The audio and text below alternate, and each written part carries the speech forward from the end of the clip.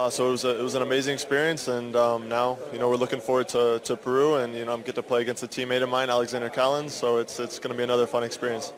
Um, I mean, I've played you know 50 games next to him, so you know I, I get along with him really well. He's a good guy. He's, he's a good player. Um, he deserves to be.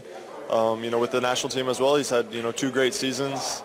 You know, there was a couple times where you know he was conflicted with club and national team, and um, you know, like every player, you know, it's it's emotional and it's it's not always easy to, to do what we do. And, um, you know, we have a good club and a good team where, you know, we pick each other up and we help each other out. And, you know, he's, uh, he's, a, he's a good guy. He's smart. He's a good player. And, um, you know, this is, this is good experience for him.